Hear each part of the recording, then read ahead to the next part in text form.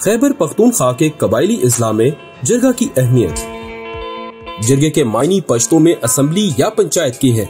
जरगे में कबायली मशीरान इकट्ठे होकर किसी भी मसले पर बहसो मुबहसा करते हैं। जिरगे का रिवाज ज़्यादातर अफ़गानिस्तान में और पाकिस्तान के इलाकों, खैबर पख्तूनख्वा और सबका फाटा में होता है।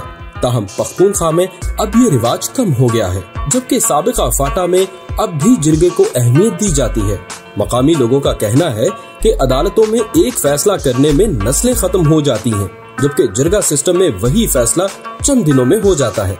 ऐसी हालत में ज़्यादातर लोग जिरगा सिस्टम पर भरोसा करते हैं। खैबर पख्तूनख्वा के नए जम कबायली इलाकों में गुजशत दो दहाइयों के दौरान दहशत गर्दी के खिलाफ ऑपरेशन में जिरगों ने अहम किरदार अदा किया।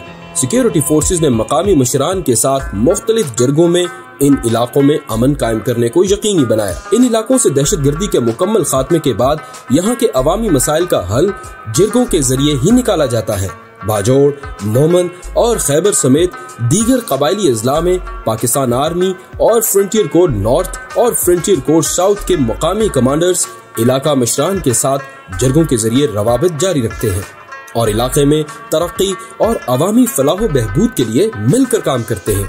इसके साथ साथ corps commander Peshawar, lieutenant general Faiz Hameed भी ग्रैंड जरगों के ज़रिए इन इलाकों के मसाइल के हल के लिए फौरी अहकाम जारी करते हैं। अफ़गानिस्तान में जारी पाकिस्तान और तहरीक तालिबान पाकिस्तान के दरमियान मुजाकरात में भी जरगा अहम किरदार अदा कर रहा है। अफगान हुकूमत के ज़रिए मुनदा इन मुजाकर में खैबर पख्तूनखा के कबायली अजला से मुख्तलिफ़ जरगों के ज़रिए सीज फायर समेत दीगर अहम अमूर पर बातचीत जारी है। कबायली अजला में जरगों पर एतम का इजहार अवाम की मुतफिका राय है, जिसको रियासत पाकिस्तान भी तस्लीम करती है।